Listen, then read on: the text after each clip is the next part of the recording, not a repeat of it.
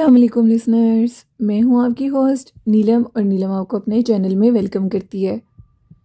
शुरू करते हैं आज की स्टोरीज़ अल्लाह का बाबरकत नाम लेकर, जो इंतहाई आली रुतबा और बहुत जलील कदर है। मैं अपने सभी सुनने वालों के लिए ये दुआ करती हूँ कि मेरे सभी सुनने वाले हमेशा खुश और आबाद रहें और अल्लाह पाक की रहमत करम भरा साया हमेशा हम सब के ऊपर बना रहे। आमीन। इसी दुआ के साथ आज की स्टोरीज जन्नात के किस्से कहानियों का सिलसिला शुरू करते हैं।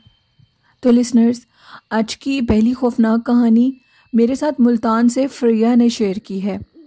फरिया कहती हैं कि मेरी शादी को पाँच साल गुजर चुके हैं। आज मैं आपके साथ अपने घर की एक स्टोरी शेयर करना चाहती हूँ। मेरे घर में एक रूम है। जब मेरी शादी हुई थी तो मेरे सास ससुर ने तब भी उस रूम को बंद किया हुआ था। मैं अक्सर अपनी सास से पूछती थी कि इस रूम को बंद क्यों किया हुआ है, लेकिन वो मेरी बात को हमेशा इग्नोर कर देती थी। उसके बाद उस रूम में अक्सर अजीबो गरीब आवाज़ें आया करती थी। जब भी मैं उनसे पूछती, वो मेरी बात को इग्नोर कर देती। मैं अपने हस्बैंड से भी पूछती कि ऐसा क्यों है?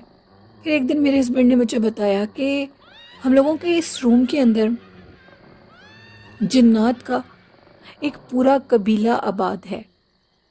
मैं बहुत हैरान हुई और ये कहने लगी कि जिन्नात का पूरा कबीला एक कमरे में कैसे आबाद हो सकता है? कैसी अजीब बच्चों वाली बातें करते हैं आप। तो उन्होंने ये कहा कि हम, मैं तुम्हें बिल्कुल सच बता रहा हूँ। हमारे इस रूम में शुरू से ही अजीबो गरीब आवाज़ें, शोर की आवाज़ें, कभी किसी तरह की आवाज़ें आया करती थी। वक्त के साथ साथ ये चीज़ काफ़ी बढ़ती गई। उन्होंने हमें अपने होने का मुकम्मल एहसास दिलाया। हुआ कुछ इस तरह कि एक दिन मेरे अबू तहजद की नमाज़ के लिए उठे। जैसे तहजद का टाइम हुआ, वो उठे वज़ू के लिए तो ये रूम तब खुला ही होता था मोस्टली। हम सारे बहन भाई इस रूम को एज अ स्टोर कभी कभार यूज़ किया करते थे, यानी इधर हम लोग अपनी पुरानी स्कूल की बुक्स रखा करते थे। तो एक दिन इस तरह हुआ कि मेरे अबू जैसे तहजद के लिए उठे तो उन्होंने क्या देखा? कमरे का दरवाज़ा खुला है और लाइट ऑन है। अंदर जो रूम का मंज़र है, वो बिल्कुल और है। यानी पूरा कमरा इस तरह था जैसे कोई बहुत बड़ा एक घर हो। उस घर में ढेर सारी चारपाइयाँ बिछी हुई थी, बेड लगे हुए थे, लोग चल फिर रहे थे।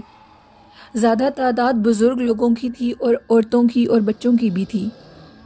ये सारा मंज़र देखने के बाद अब्बू बहुत ज़्यादा हैरान हुए और ख़ामोशी से ये सारा कुछ देख रहे थे। और जैसे ही वो ये सारा कुछ देख कर वापस की तरफ़ पलटे तो पीछे से ये आवाज़ आई कि ये कमरा हम लोगों की रहने की जगह है। इधर अपने बच्चों से मना करो कि अपनी चीज़ें मत रखा करें। हमें दिक्कत पेश आती है। पूरा कमरा इस तरह था जैसे एक बहुत बड़ा घर हो। उस घर के अंदर अब्बू ने ये देखा कि कई कमरे बने हुए थे, कई कमरे। उन कमरों में मुख्तलिफ़ किस्म के लोग अंदर बाहर आ रहे थे, जा रहे थे, अपने काम कर रहे थे, बच्चे खेल रहे थे, कुछ औरतें बैठी खाना बना रही थी।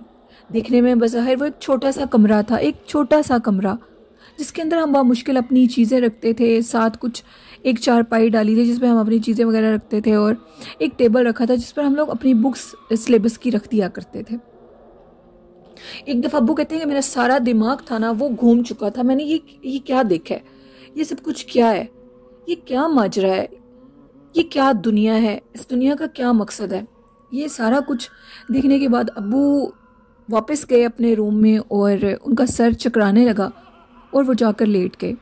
सुबह उठकर उन्होंने ये बात अम्मी को बताई और ये कहा कि मैंने तो कुछ ऐसा वैसा देखा है उधर। ये सब कुछ क्या है? तुम आ, मैं बहुत परेशान हूँ। अम्मी ने उनसे कहा कि तुम्हें आपको सॉरी परेशान होने की ज़रूरत नहीं है।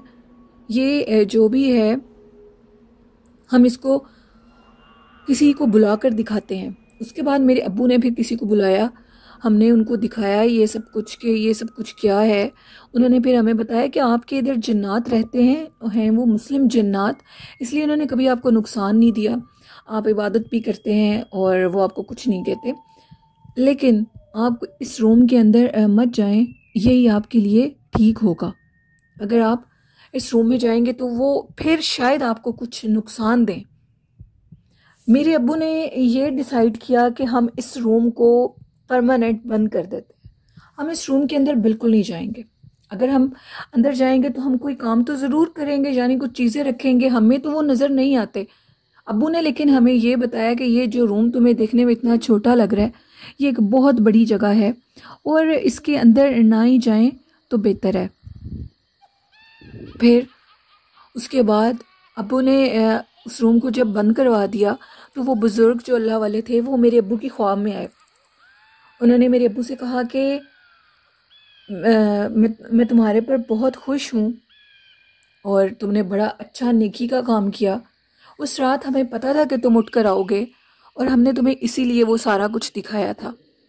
हमें ये पता था कि अगर तुम अकल और समझ रखते हुए तो इस चीज़ से गुरेज करोगे, इधर नहीं आओगे। और अगर तुम बेवकूफ़ हुए तो फिर भी इस कमरे को इस्तेमाल में रखोगे। लेकिन तुम एक इंतहाई अच्छे, सुलझे हुए और अक्लमंद इंसान हो। हम तुम्हारी बहुत इज़्ज़त और कदर करते हैं।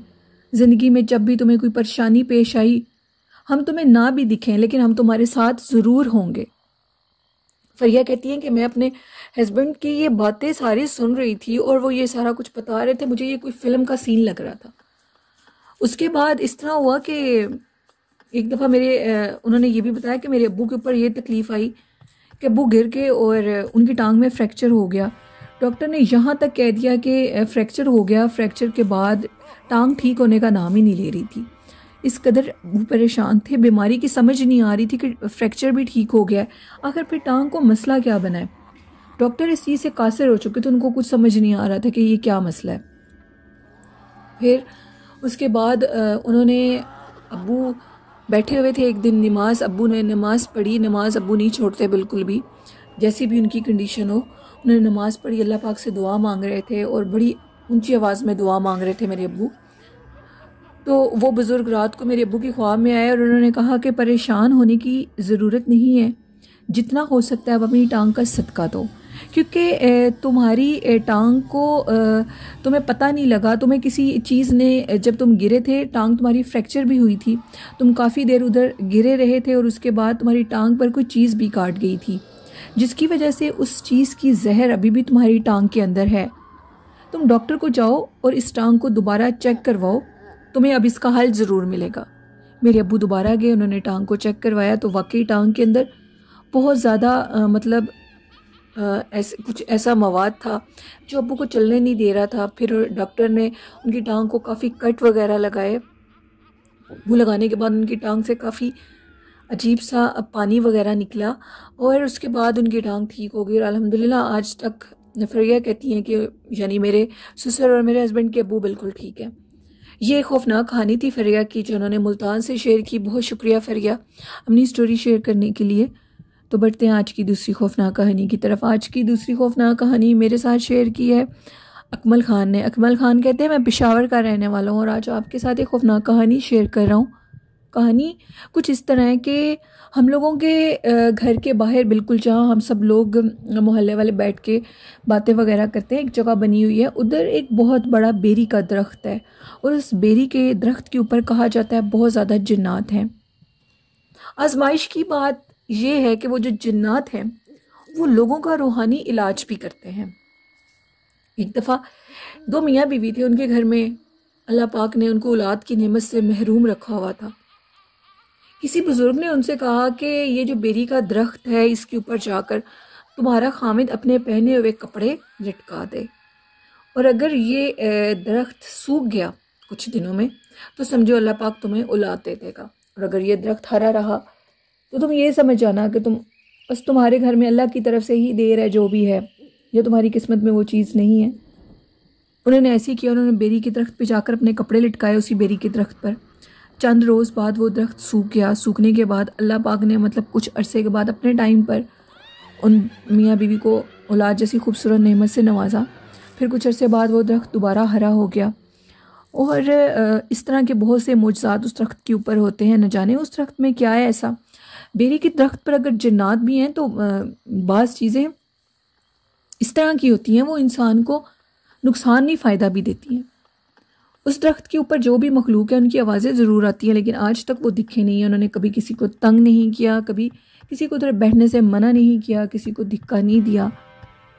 हाँ लेकिन एक बात ज़रूर है कि चाँद की एक मखसूस तारीख पर उधर ज़रूर गुलाब के फूलों की खुशबू महकती है। बहुत ज़्यादा महकती है गुलाब के फूलों की खुशबू। कुछ लोगों ने उस दरख्त के नीचे बहुत से कोयले भी गिरे हुए देखे थे। पता नहीं वो कोयले कौन फेंकता है, ये हम नहीं जानते, लेकिन वहाँ पर कोयले भी गिरे होते हैं। ऐसे बहुत से वाक़ात उस दरख्त के साथ पेश आते हैं जो कि मैं आपके साथ ज़रूर शेयर करूँगा और एक ये बात बताऊँ आपको कि उस दरख्त पर कहा जाता है, जब रात के टाइम गुजरा जाता है तो कोई जो भी शख्स उधर से गुजरता है, उसका नाम लेकर बाकायदा बुलाया जाता है, लेकिन होता कुछ भी नहीं है। लेकिन अब लोगों को इतनी आदत हो चुकी है, कोई डरता नहीं है इस वाक़े से। ये एक मेरी स्टोरी थी अकमल की, जो उन्होंने पिशावर से शेयर की। बहुत शुक्रिया अकमल अपनी स्टोरी शेयर करने के लिए। लिसनर्स ये थी आज की कुछ खौफनाक कहानी है। आप लोगों को कैसी लगी है? अपना फीडबैक ज़रूर दिया करें। और जो लोग अपनी खौफनाक कहानियाँ मेरे साथ शेयर करना चाहते हैं डिस्क्रिप्शन बॉक्स में मेरे ईमेल आईडी और फेसबुक आईडी पर आप लोग अपनी स्टोरीज़ को शेयर कर सकते हैं और कमेंट बॉक्स में भी।